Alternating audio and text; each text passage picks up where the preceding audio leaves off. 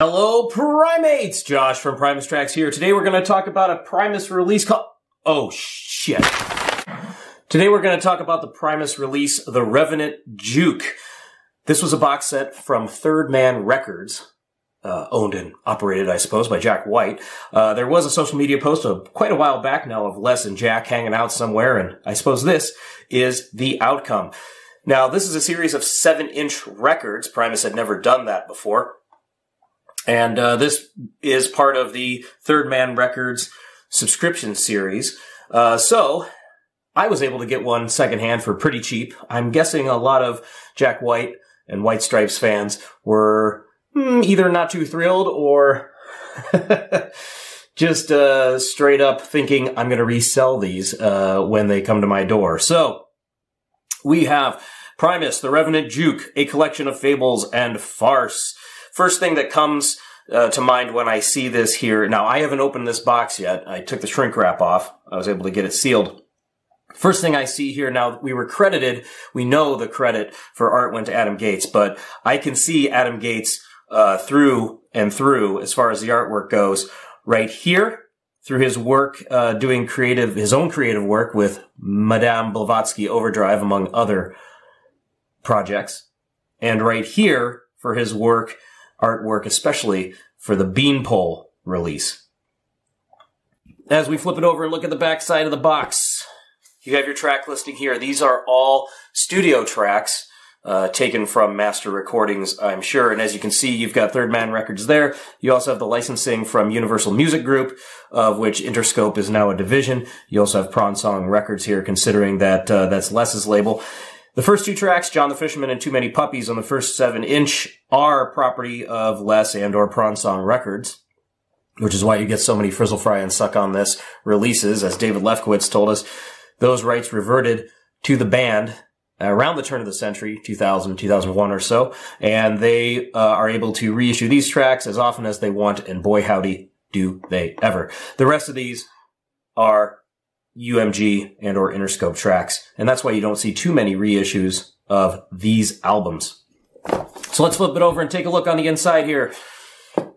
First things first. Oh, good. I'm glad that they're protecting their product. We have some kind of parchment paper here, which gives us some information. Looks like this is number 53 in your Vault package series. Uh, it says a box set of six, seven inch records. You can see that it's torn. Ooh, hand torn. How nice. There is some copy on the back here uh, about the band itself. No credit as to who wrote this, so this could be the publicizing team from Third Man Records. We'll set that aside for now. This, now we saw these images before uh, everything uh, was released, but this is the meat of what I want to talk about. So, nice box. So let's take a look at these records. Our first one, I think you can tell which track this is, but once again, take a look right here with these insane eyeballs here. This is an Adam Gates staple, and I'm really enjoying that he's bringing this style back to his illustrations for these Primus tracks. Now, we got to talk to Adam quite a while ago now, and he brought along Les, which was pretty awesome. But, uh, you know, one thing Adam told me afterwards is, uh, he said, after all these years, I still love talking about Primus and hearing Les talk about Primus. And I think he's, uh, he's enjoying making artwork for Primus still after all these years as well. So this first record, John the Fisherman, along with Too Many Puppies. We have ourselves a John the Fisherman illustration here. Once again, signature Adam Gates, uh, cracked out eyeballs, fishing boat. I love the off kilter horizon line there. Second, and of course these are in chronological order. So this is from Sailing the Seas of Cheese. Jerry was a race car driver, as well as Tommy the Cat on the backside.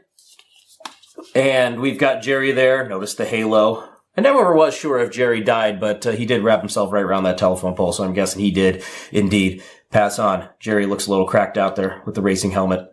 Look at those tooth. Toofers, I guess. We also have a welcome to El Sobrante sign, so uh, we know from the lyrics, Elsa number one, we know where Jerry's from. I really also love the unfinished quality to the bottom half of Jerry because this is really all we need to know, especially right here. Our third release. This is uh, uh, directly from the My Name is Mud video. So we're on to Pork Soda. We've got My Name is Mud on the backside, Mr. Krinkle. And the reason I'm laughing is look at that right there. That nice line of chalk coming. This is directly from the video, uh, a still from it, but Adam is sketching it up and giving us those cracked out luminary eyeballs. There's the tree from the video in the background. This is just creepy. I'm a big fan of uh, what Adam did to this. Uh, I love these sketch lines everywhere, and those teeth are scary. this is a fun one to look at. Uh, and of course, there he is on the box as well, holding the baseball bat. So very Bean Polish, very Adam Gates-ish. And actually, if you look in your Tales from the Punch Bowl liner notes, when you look at the illustration for Over the Electric Grapevine, you see details like this. Next, we have Tales from the Punch Bowl. This is uh, clearly going to be Wynona's Big Brown Beaver, and on the backside is Southbound Pachyderm. There's the girl. There's the beaver. Uh, they both look a little zombified. Not sure what's happening there, but with the splatter here, uh, also is something that Adam uh, will do from time to time with his artwork. I think there's your cyclone fence. So he's he's uh, inserting all these little details uh, in the background. And so if you know your Primus lyrics and you know your Primus, uh, I don't know, myth arcs, then you will be seeing these as well. Next record is, oh, interesting, uh, interesting chronology here. So now we have, uh, Shake Hands with Beef, Beef, excuse me, followed by Over the Falls. So we're still in chronological order. For a second, I thought we were going to be talking about Ballad of Bodacious, but that's silly. So we've got these glowing eyes again for the rider, old Tuff Hedeman right there, uh, perhaps on, uh, Bodacious, but this is Shake Hands with Beef. So, uh, this cow probably not going to last too long. For some reason, he's smoking a cigar. Hmm, do you know your Primus lyrics? He's puffing a Tijuana small right there. I ruined it for you. Anyway, there's your hamburgers. We're shaking hands with beef. Uh, looks like it says slam it in your hole. That's an Adam Gatesism if I've ever seen or heard one. There's a sign for Dee's Diner, which is, uh, in the Primus mythology or Les Claypool mythology as well now. And once again, we have some unfinished business going on right here, but I love the splatter. This is very Adam Gates-ish. And your last seven inch is going to be the anti-pop on the backside coattails of a dead man. So this one we have to be a little more metaphorical, I suppose. So here's a, a, a representation of Les Claypool, I suppose, with one of his signature hats, facial hair, uh, and he's baring his teeth and shaking his fist against the oncoming waves of syrupy pop music, as he likes to say from time to time. And it's got some nice detail in the waves. I'm surprised we don't see any uh, Backstreet Boys or uh, NSYNC singers or Britney Spears hidden inside the waves. Uh, but maybe Adam wasn't in the mood to make fun of them anymore, uh, as you know the band and uh, their associates used to 20 odd years ago. So I do see what may be construed as a skull there if you want to get uh, read too much into it. But uh, there's our anti-pop standing against the onslaught of weird not weird, but uh, weird to us at least, pop music. So, there's your seven inches. I didn't even open them up to look at the records, so we might as well look to see what they look like. I think they're all going to be different colors. You've got the third man iconography, and you have, actually, I really like the label. It looks very retro. Artist, title, timestamp.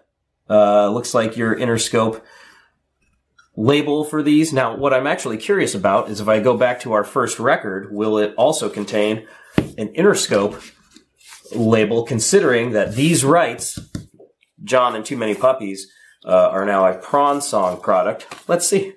Ha ha! No Interscope right there. That's what I figured. I'm surprised there's not a prawn song right there, although uh, prawn song itself doesn't seem to have been active for quite some time.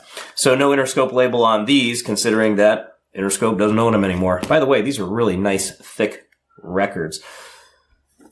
Pretty cool. You got the small pinhole. I'm pretty sure jukeboxes have the larger pinholes for the music. I'm not going to be picky about that, but really nice colors on the vinyl. If you can get this for cheap uh, on resale sites such as eBay or Discogs, I recommend doing it. I mean, you're going to be basically paying for tracks you already have, but look at these nice pieces of art in a really nice box set. Revenant Juke, you're all right by me. Adam Gates, you're a great artist. Later days.